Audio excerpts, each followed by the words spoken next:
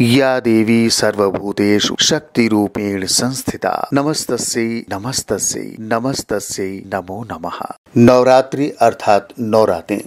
इन नौ रातों और दस दिनों के दौरान देवी के अलग अलग नौ रूपों की पूजा की जाती है। नवरात्र में आठवें दिन, यानी अष्टमी तिथि, महागौरी शक्ति की पूजा को समर्पित है। नाम से ही प्रकट है कि इनका रूप पूर्णतः गौर वर्ण है। इनकी उपमा शंख, चंद्र और कुंद के फूल से दी गई है। शिवपुराण के अनुसार महागौरी को आठ साल की उम्र में ही अपने पूर्व जन्म की घटनाओं का आभास हो गया था। इसलिए उन्होंने आठ साल की उम्र से ही भगवान शिव को पति रूप में पाने के लिए तपस्या शुरू कर दी थी। इसलिए अष्टमी के दिन महागौरी का पूजन करने का विधान है। इस दिन माँ की पूजा में दुर्गा सप्तशती के मध्यम चरित्र का पाठ करना विशेष फलदायी होता है। माँ गौरी के सभी आभूषण और वस्त्र श्वेत हैं, इसीलिए उन्हें श्वेतांबर धरा कहा गया है। चार भुजाएँ हैं और वाहन वृषभ है, इसीलिए वृषारूढ़ा भी कहा गया है उनको। माता महागौरी की पूरी मुद्रा बहुत शांत है। पति रूप में शिव को प्राप्त करने के लिए महागौरी ने कठोर तपस्या की थी। इसी वजह से उनका शरीर काला पड़ गया था। लेकिन तपस्या से प्रसन्न होकर भगवान शिव ने उनके शरीर को गंगा के पवित्र जल से धोकर कांतिमय बना दिया और इस तरह उनका रूप गौरवर्ण का हो गया। इसीलिए वो महागौरी कहलाई। माँ महागौरी को शिवा भी कहा जाता है।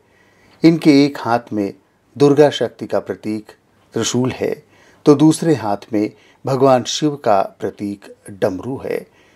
अपने सांसारिक रूप में महागौरी, उज्जवल, कोमल श्वेत वर्णी और श्वेत वस्त्रधारी और चतुर्भुजा हैं।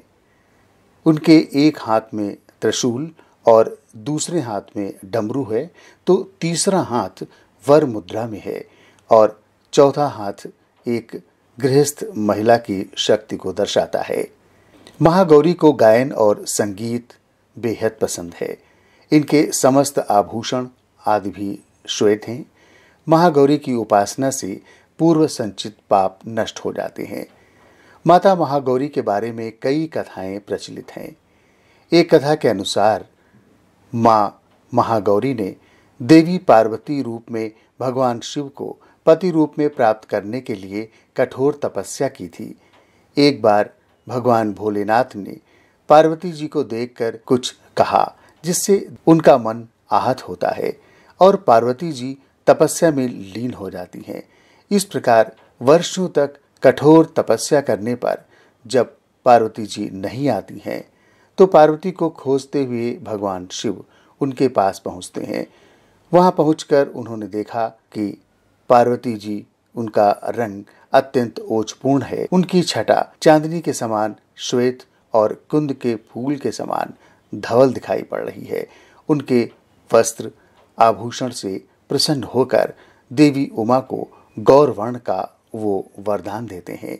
महागौरी रूप में देवी करुणामयी, स्नेहमयी, शांत और मृदुल दिखती है। महागौरी से संबंधित एक अन्य कथा भी प्रचलित है, जिसके अनुसार एक सिंह काफ़ी भूखा था।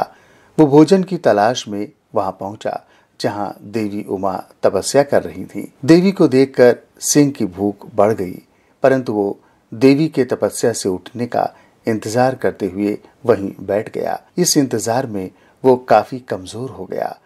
देवी जब तब से उठी तो सिंह की दशा देखकर उन्हें उस पर बहुत दया आई और माँ उसे अपनी सवारी बना लेती हैं, क्योंकि एक प्रकार से उसने भी तपस्या की थी। इसीलिए देवी गौरी का वाहन, बैल और सिंह दोनों ही हैं। महागौरी अमोघ फलदायिनी है। इनकी पूजा से भक्तों के तमाम कलुष धुल जाते हैं। पूर्व संचित पाप भी नष्ट हो जाते हैं।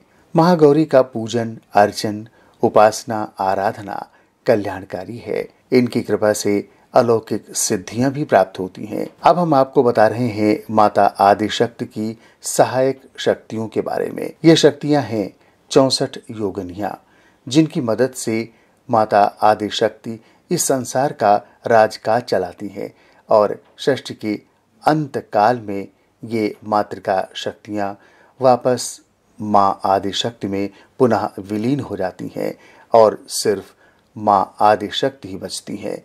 फिर से पुनर्निर्माण के लिए। चौसठ योगनियाँ समय समय पर माता दुर्गा के सहायक शक्तियों के रूप में काम करती हैं और दूसरे दृष्टिकोण से देखा जाए तो ये मातृका शक्तियाँ तंत्र भाव और शक्तियों से परिपूरित हैं और मुख्यतः तंत्र ज्ञानियों के लिए प्रमुख आकर्षण का केंद्र हैं। दरअसल ये सभी आदिशक्ति माँ काली का अवतार हैं। घोर नामक दैत्य के साथ युद्ध करते हुए माता ने ये अवतार लिए थे। ये भी माना जाता है कि ये सभी माता पार्वती की सखियाँ हैं। इन चौसठ देवियों में से दस महाविद्याएँ हैं और सिद्ध विद्याओं की भी गणना की जाती है। ये सभी आद्या शक्ति काली के ही भिन्न भिन्न अवतारी अंश हैं। ये भी कहा जाता है कि समस्त योगिनियों का संबंध मुख्यतः काली कुल से है और ये सभी तंत्र और योग विद्या से घनिष्ठ संबंध रखती हैं। समस्त योगनियाँ अलौकिक शक्तियों से संपन्न हैं। प्रमुख रूप से आठ योगनियाँ हैं, जिनके नाम इस प्रकार हैं।